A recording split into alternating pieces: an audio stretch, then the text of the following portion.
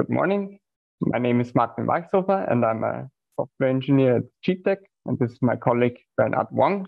And together we are working on the Unicorn.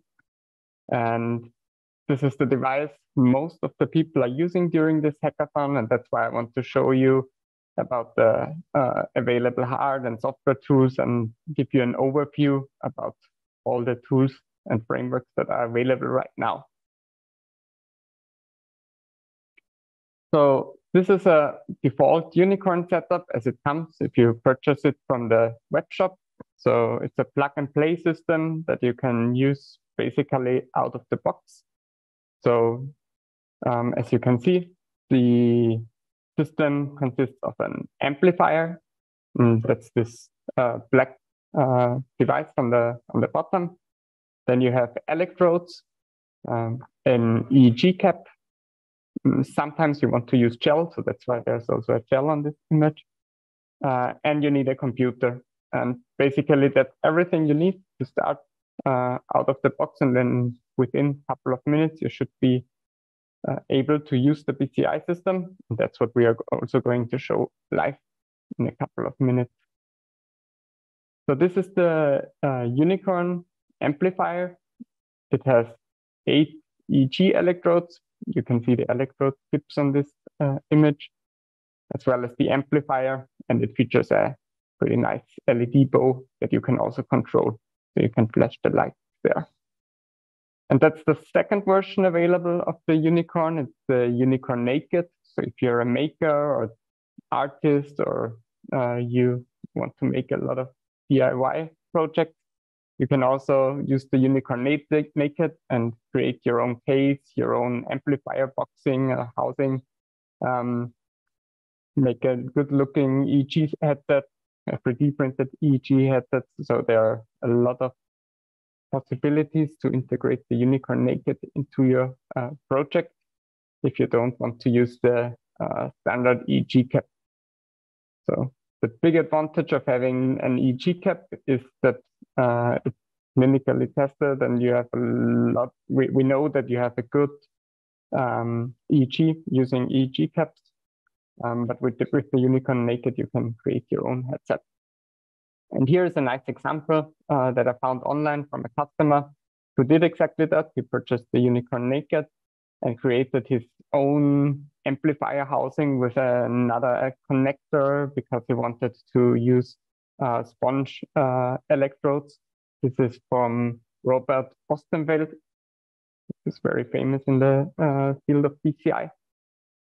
And on the right-hand side, you can see an example that we also put on GitHub where we, we created a, um, amplifier housing that you could integrate into a headband.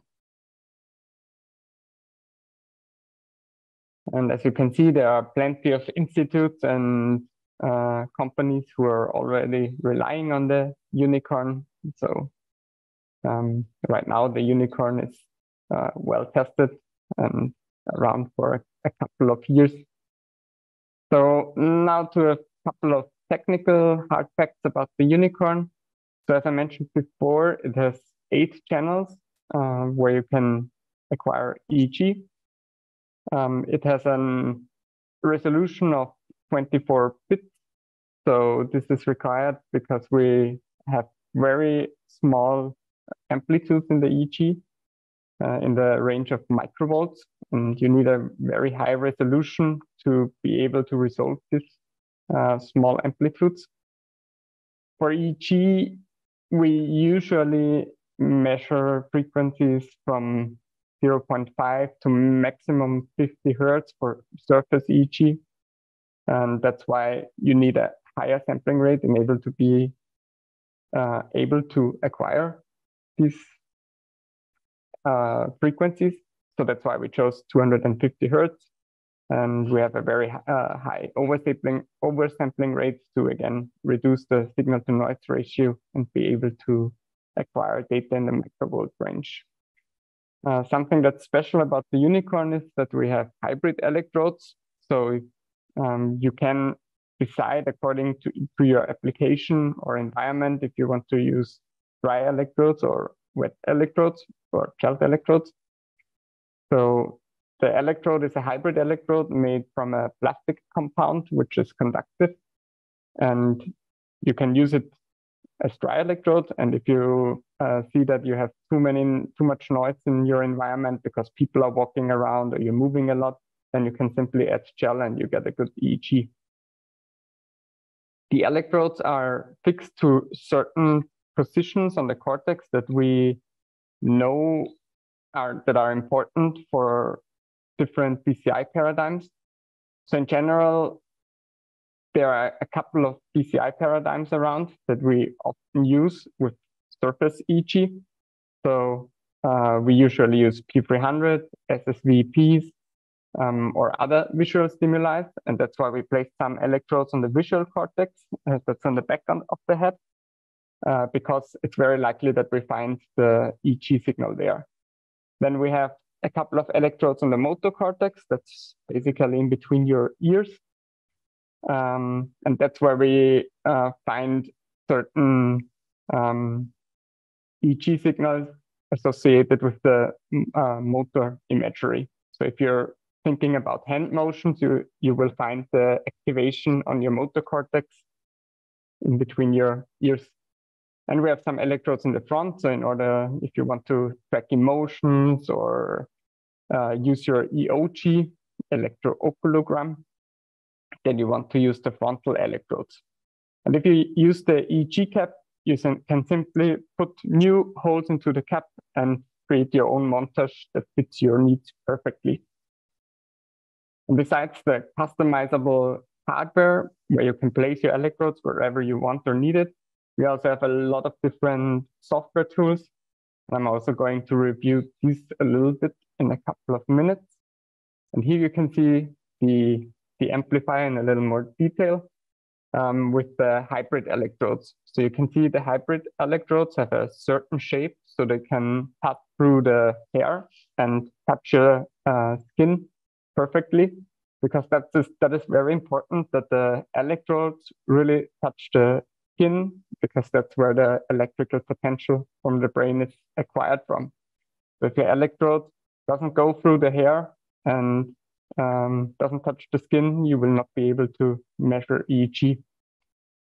And if you have too much hair or moving a lot or dry electrodes just do not fit your uh, your application, then you can see there's a hole in the electrode tip, and you can simply put a syringe through it and add gel to your electrode. You can see the system in a little more detail. You can see that there's an electrode tip and you simply slide it on the electrode. Um, so you can put gel into. And if you want to clean your system, you can just uh, slide the electrode off again and put it into water because it's waterproof and they, there are no electronics involved, so you can clean the whole system perfectly.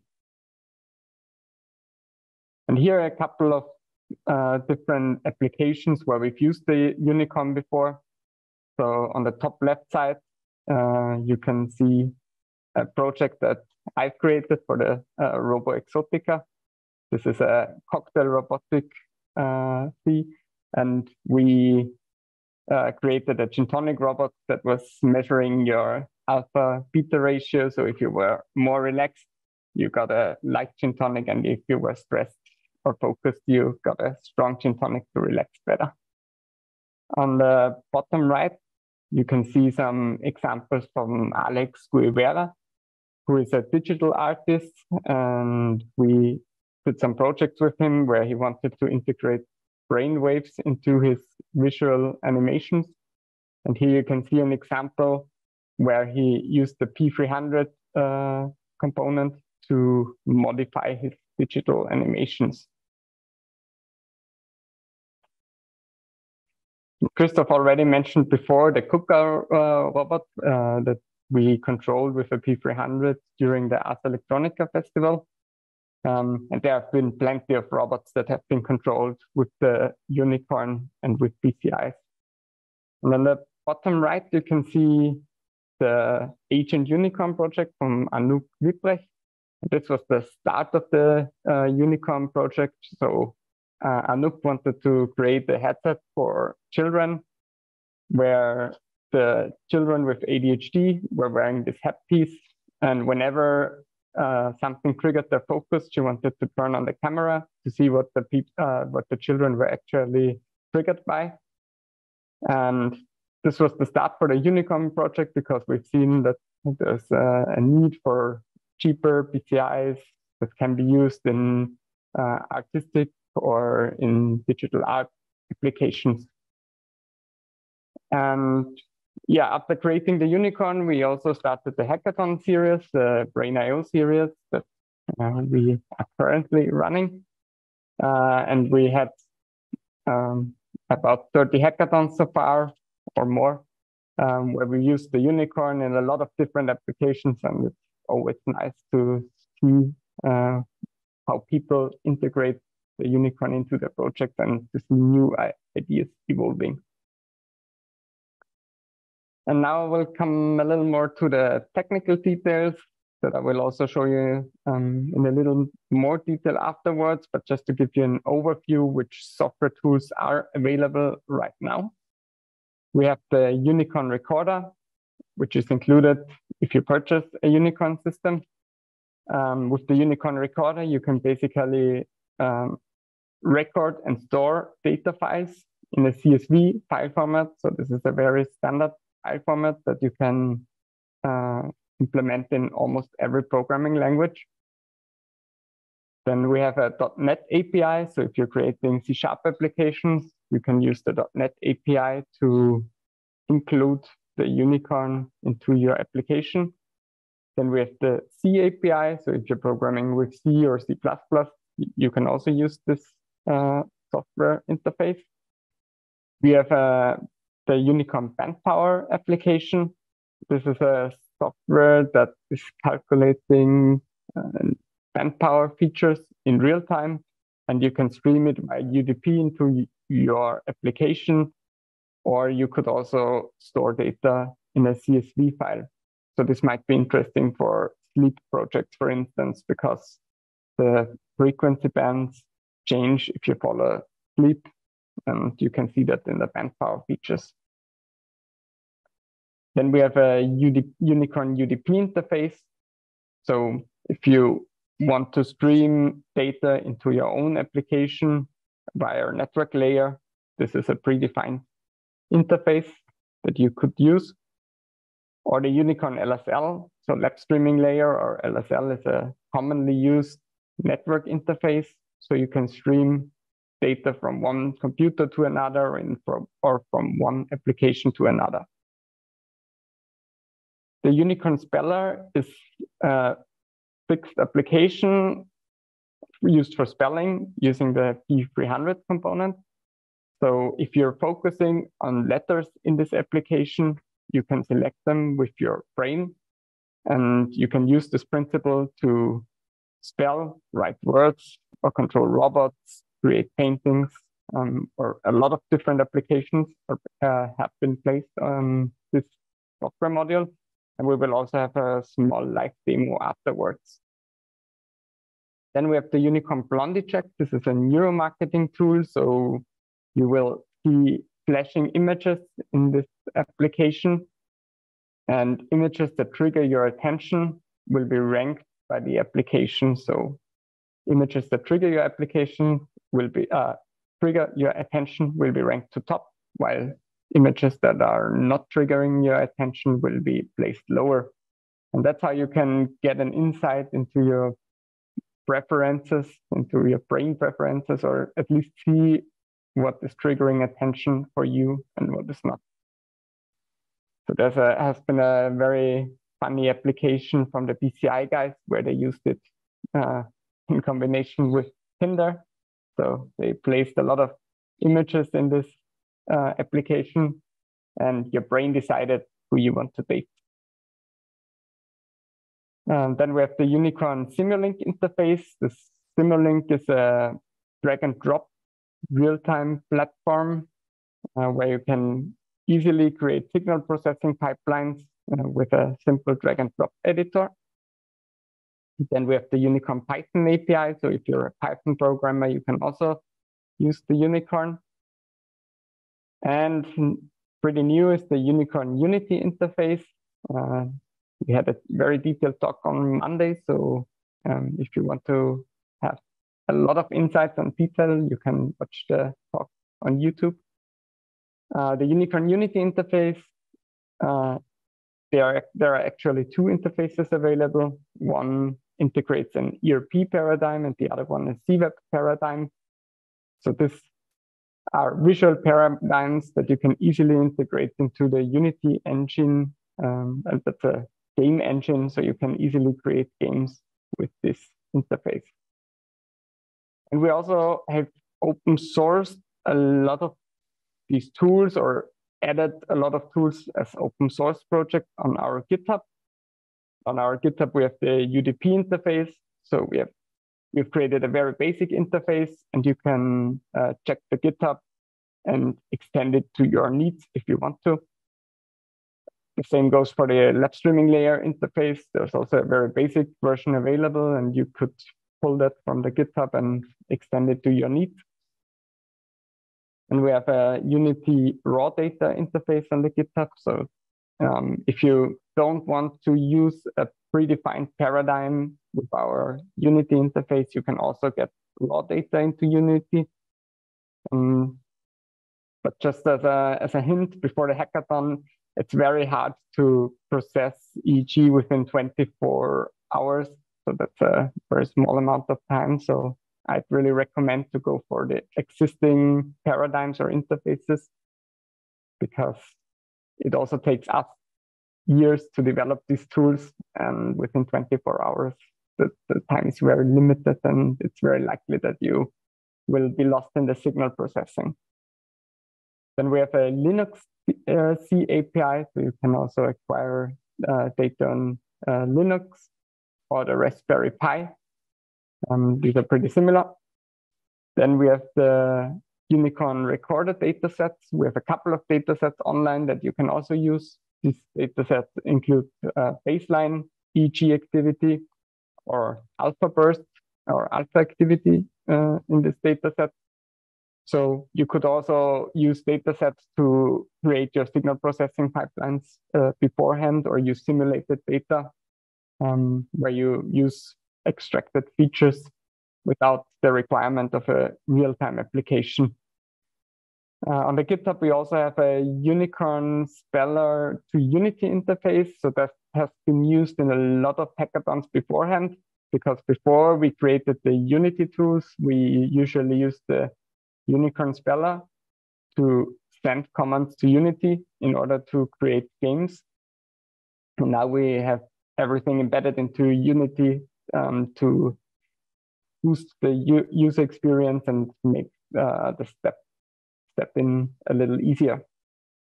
Then if you don't want to use any of our APIs and you want to create your own API, you can always use the Bluetooth API. So the Bluetooth protocol of the amplifier is open source. So there's the possibility to create your, create your own APIs. The biggest advantage of using the APIs that we provide is that we already took care about um, converting binary streams into physical values and interpolating data that has been lost. And um, there, there have been a lot of tests. So um, the system might be a little more stable if you rely on the stuff that we already have tested, but you can always create your own APIs if you wish. Then we have an Android API if you want to go for mobile applications. And for 32-bit Windows PCs, which are rarely available, but still are, we also have a C API. And if you want to go for the creation of your own uh, headsets, um, we have the mechanical drawings of the PCB um, of the Unicorn Naked available. So you can use this uh, drawings as a reference if you want to create your own 3D, 3D printed case. And we have one example 3D printed case. And I'd shortly like to show you um, how this GitHub looks like. So the projects that I've mentioned right now um, are available uh, if you look at the uh, Unicorn Hybrid Black So they are structured for the different programming languages. So everything that is based on C Sharp will be, uh, you can find it in the unicorn.net API. So we have the lab streaming layer, UDP interface, or Unity raw data interface in here. And same goes for all of the other uh, applications. And outside, you will find the Unicorn Android API, the uh, Unicorn naked drawings. And because Christoph mentioned before that there will be a presentation in the end of the hackathon, and you want to use the, uh, or are supposed to use the, the PowerPoint template, you will find that in the GitHub if you open the Brain.io hackathons folder and scroll to the very bottom. There you have the PowerPoint presentation template. I can also post the link later on in the Slack so mm, you should be able to find that one. And you can also find a couple of old projects from previous hackathons, um, but we can discuss that later on for your individual project in detail.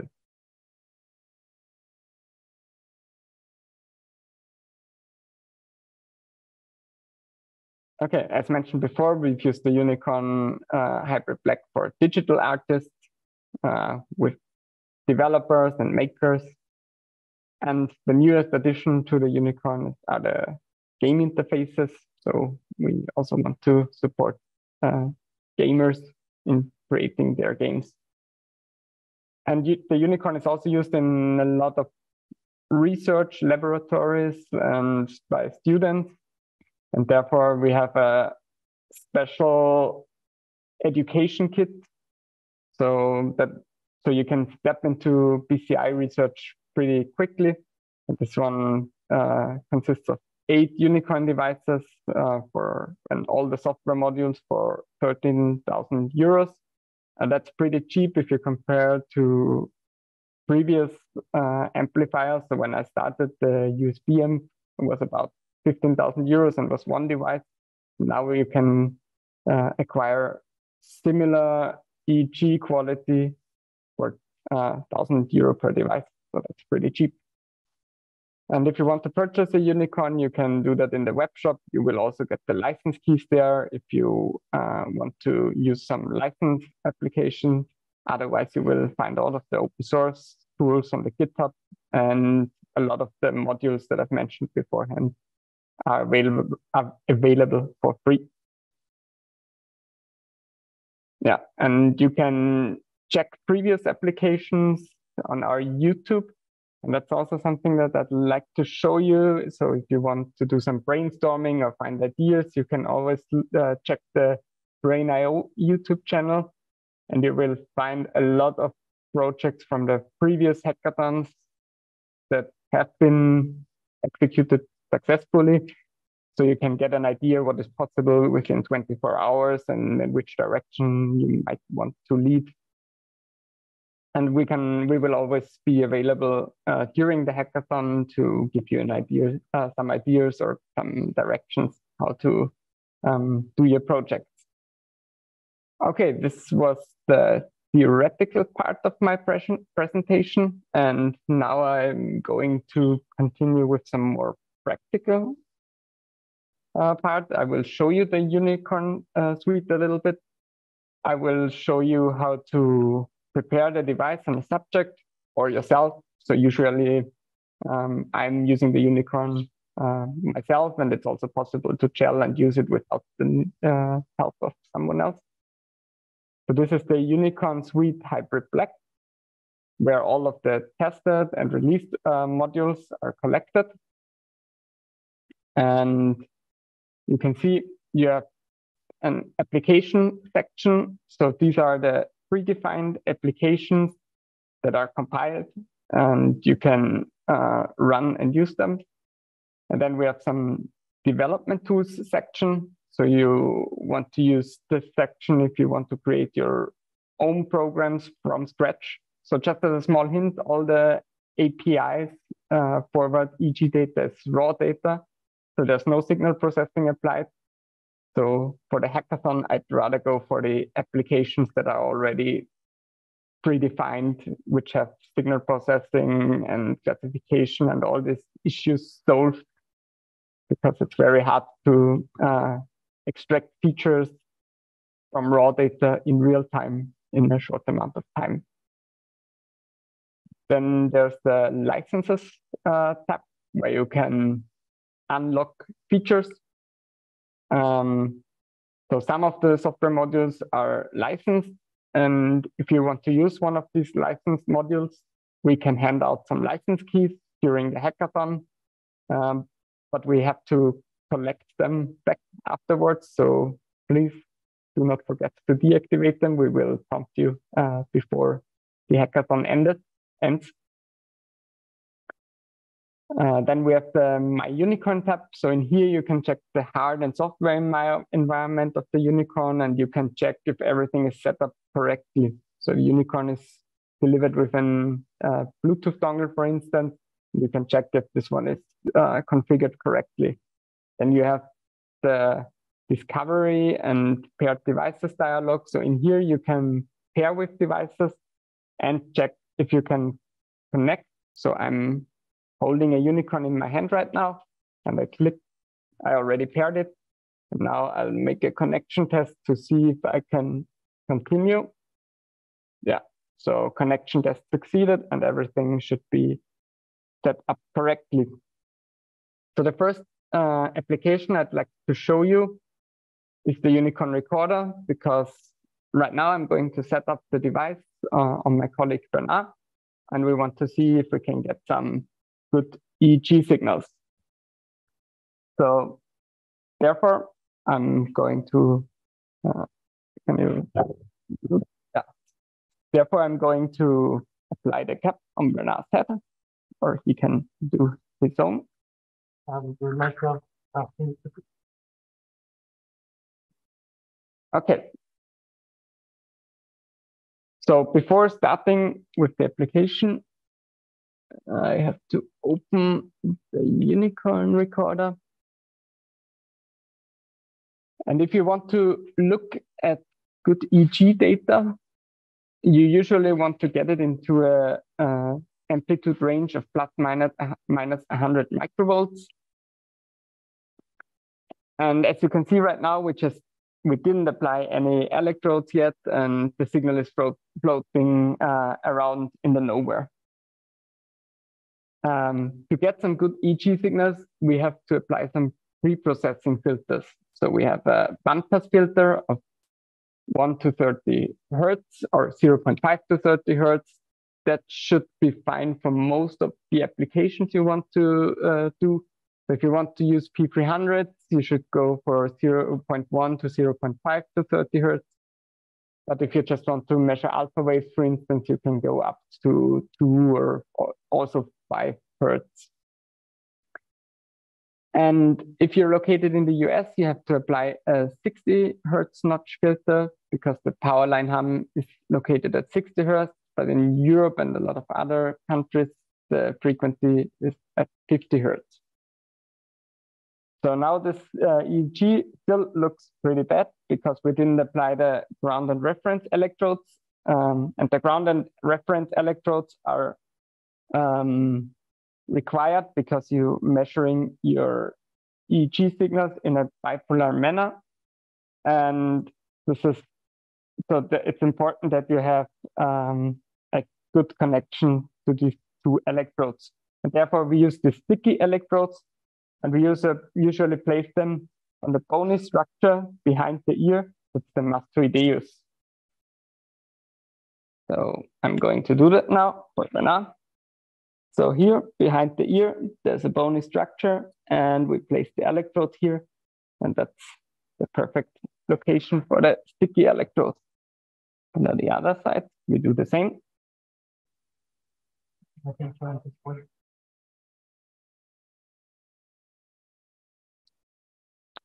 So just check if you're doing that, that you have um, not too much hair under, uh, underlying the underlying, because um, the better the connection, the better your EEG signals will look like, since all of the electrodes are measured in reference to these two electrodes.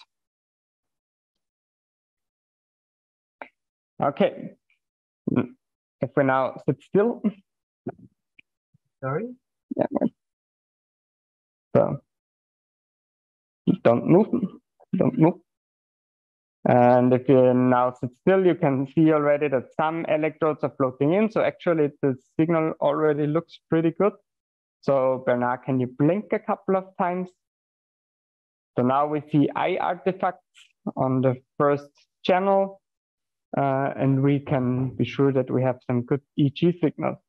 Now you can clench your teeth a couple of times, and we can see that we have muscle artifacts from the chin in the EEG.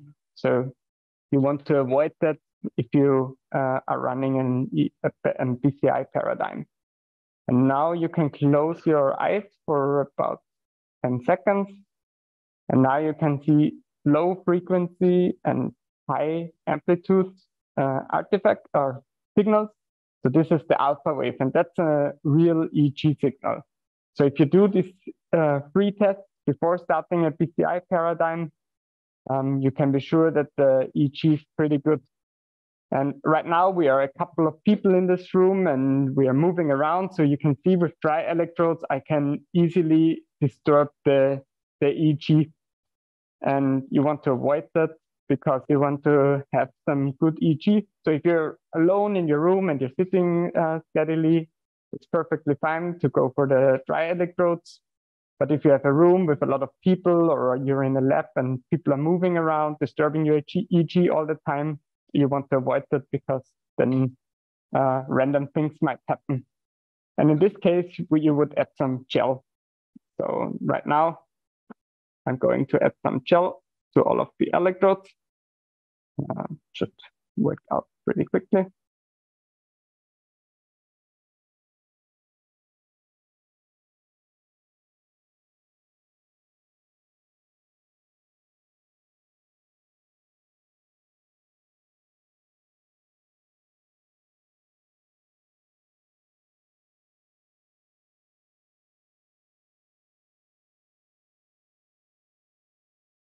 All right. Put on the Augustus again. Okay, now we can see that the EEG signal settles again. And now I can move around and check if I still have some bad electrodes. So maybe electrode six, I have to prepare it a little better. Maybe electrode one looks a little bit distorted. So in order to get a good signal quality, I usually add some gel and wrap the electrodes a little bit through the hair. Then I wait until the signals settle again and do the EEG test again. So Bernard, can you blink your eyes a couple of times? So blink, yeah. You can see EOG artifact, especially on the uh, first channel. Then clench your teeth a couple of times.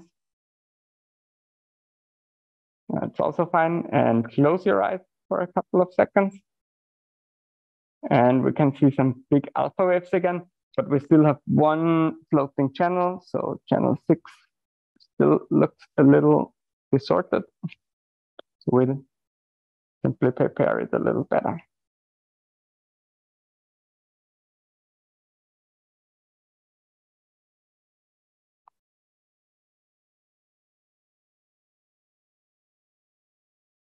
Okay, so the EEG signal looks fine.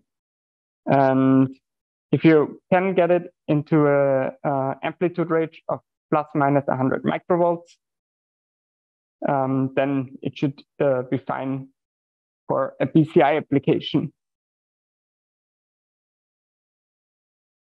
Okay, the next application I'd like to show you is the Unicorn Speller. And this is an application that implements a P300 paradigm. And we used it pretty often to control uh, games or similar or robots. And we created paintings with, with the Unicorn Speller. So there are plenty of applications available. And for a BCI system, you usually have calibration phase, and then you can apply the system. So before starting, we check the signal quality again. We have some uh, frequency swings. Maybe can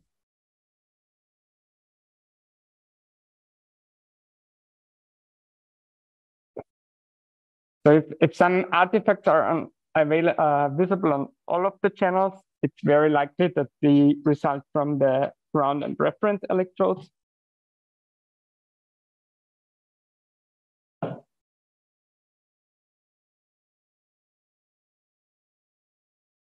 And we want to avoid that. So I'm, I'm placing the electrodes a little bit different.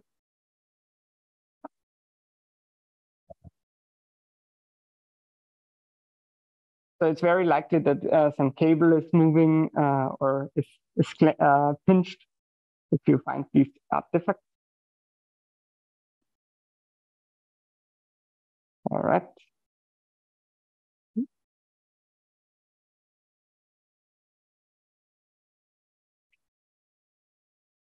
Or if the electrodes don't have a good contact to your to your subject.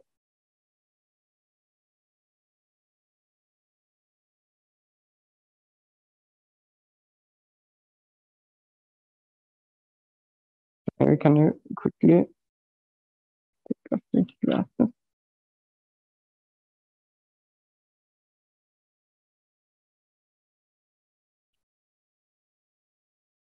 We want to wait until the signal settles a little bit. Maybe my electrodes are also a little dried out. And then I usually add some gel underneath the, the ground and reference electrode to ensure that they have some good contact.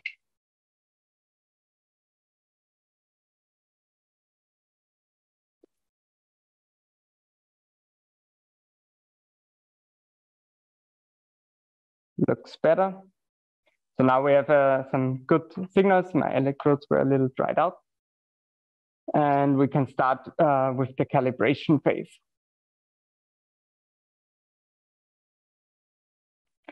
So for the calibration of the speller, we usually take um, three to five icons that will flash. So in this case, I will take TDB and the task for Bernard right now is to focus on each of these letters, and they are going to flash. And he has to react mentally to the flash. And that triggers a P300 uh, wave. And we can then use this P300 component to check if he's focusing on an icon or not. And therefore, we have three icons that he should focus on and he should ignore all of the other flashes. Okay, so we, I will set 30 flashes per icon. And uh, that means we will have 90 flashes in total and then a classifier is calculated. And then we can check if the system has been calibrated properly. So right now, Bernard is focusing on the T. And whenever the T is flashing, he's counting the flash mentally.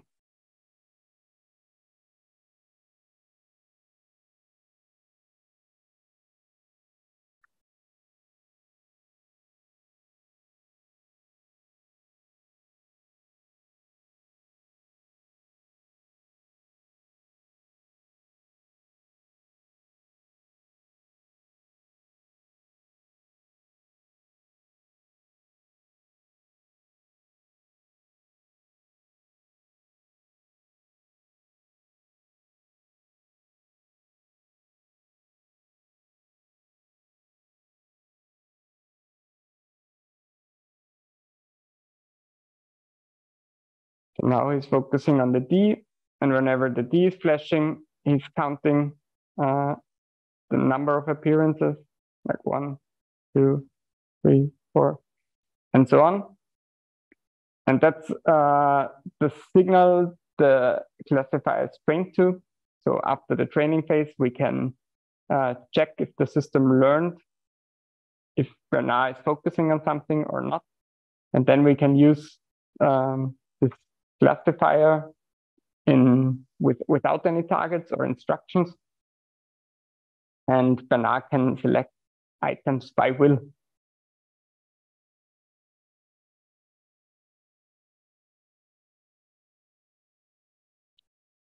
And the last item is focusing on the B. And he's only counting if the B flashes and ignoring all of the other flashes.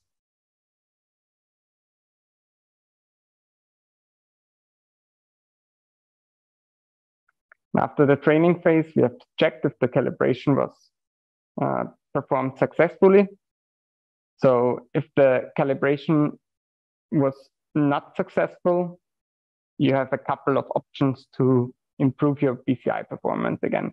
If you had a lot of artifacts during the training, you should uh, recalibrate the system and try to minimize the artifacts. So if your EEG was not good, you should check that you have a, have a good EEG signal quality. If you have been moving and so on, you should try to uh, sit steadily. Um, you can increase the number of flashes before selection or decrease them. And that's what I'm going to show you right now. Now we want to test if the uh, classifier was successful. So we're now will spell BCI. And we can speed up the system already a little bit. So for the first, um, for the calibration, we had 30 flashes and then we move to the next item. So we will now increase the speed a little bit. And after 10 flashes, a selection is done. So I start the paradigm again. And now we can follow if the BCI is able to classify correctly.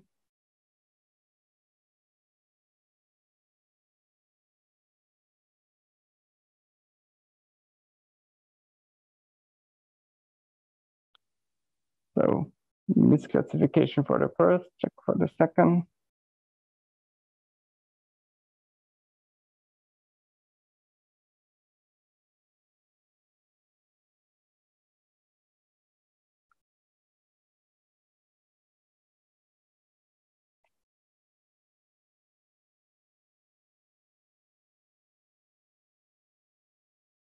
Second was correct.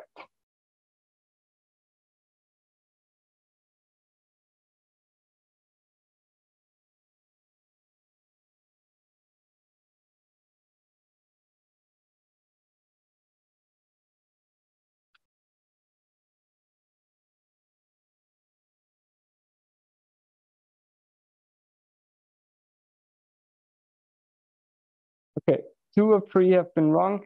So in this case, um, during the calibration phase, we've seen that the EEG turns bad uh, often. So it's very likely that we do not have good EEG signal. Now it looks good again, but it's swinging a little bit. And you have a couple of options to, to improve your performance. So he was able to select something correctly, so we can uh, increase the number of flashes.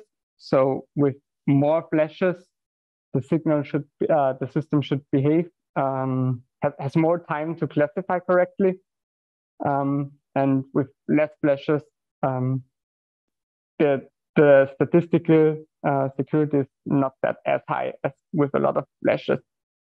And the second uh, possibility is that you recalculate the classifier with, more training data, since we had a lot of artifacts in the training and the signal quality indicated that we had EEG uh, pretty often. Uh, we could do something around 100 to 150 flashes. Then we usually know, even with uh, some artifacts, the system works properly. Uh, and if you have a good classifier and some good EEG, you can go as low as um, two to four flashes for uh, selection. And if you want to integrate this application into your um, BCI system or into your game, you can use the network output. And this network output basically sends uh, an item from one application to another using UDP. So in the Unicorn suite, you also have uh, an example code in the manual. So you can open the manual over here. So there's the, the Unity speller interface on the GitHub if you want to integrate it into, uh, into Unity.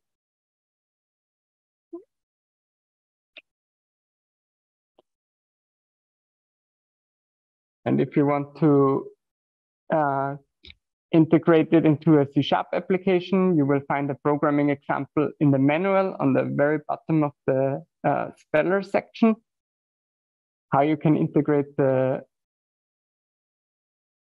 the BCI into a C Sharp application. So let's, we're almost there.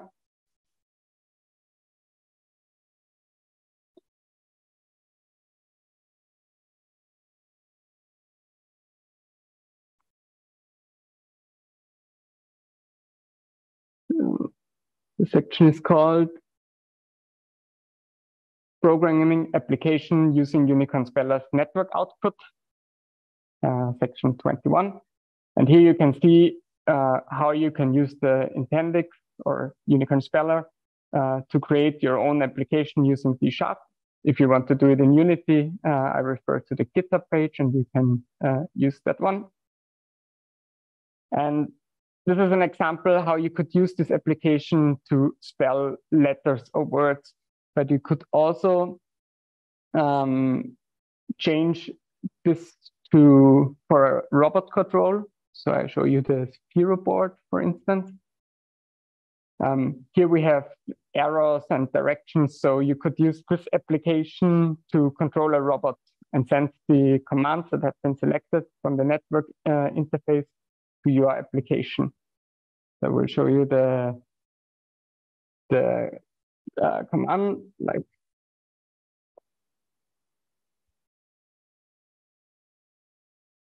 so to test your uh, network output, we have this test network output program.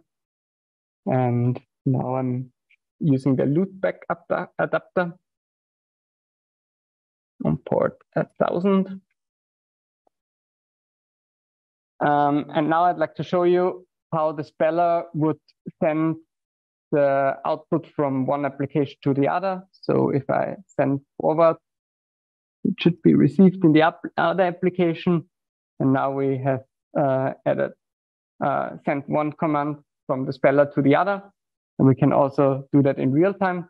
So Bernard uh, is focusing on, on some item and then the item will be sent from one application to the other. And we can follow that process.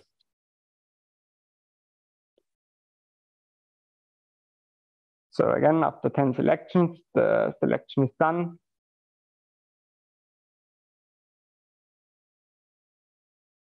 And he selected the spin item. So, um, so that's how you can use the speller to control an external application. But there are plenty of uh, possibilities. You could uh, control uh, a painting application, a robot, a game, um, whatever you want. Uh, you you just have to integrate the P300 paradigm.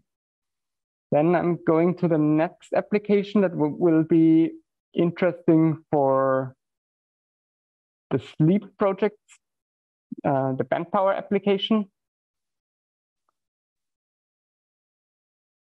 So band power features, um, so the EEG has a couple of different frequency bands that are interesting for applications. So you have delta, theta, alpha, beta, and gamma waves that you can uh, acquire with surface EEG. And using this application, you can integrate these signals in real time. So here you can see on the right-hand side, the signal quality scope, indicating that the, we have a good signal quality. So I asked Bernard to close his eyes for 10 seconds. And this is a alpha wave, and you can see that the channels uh, representing the alpha um, increase in the band power. So on the bottom, you can see the band power calculations in real time. If he has his eyes opened, um, other frequency bands besides the alpha are most present and he, if he closes the eyes, the alpha raises. So now he closed his eyes again, alpha waves appear and the alpha band rises, becoming to the most present uh, frequency band. And if he opens his eyes again, you can see the other uh, frequency bands raise. So usually delta waves only appear during deep sleep. Theta waves appear if you're very relaxed or in a drowsy state or in a very, very relaxed state. Alpha waves uh, appear if you're conscious, awake, but relaxed. So if you close your eyes, for instance, your visual cortex turns off and uh, alpha waves appear all over the visual cortex. So we can try that once again. Bernard, please close your eyes.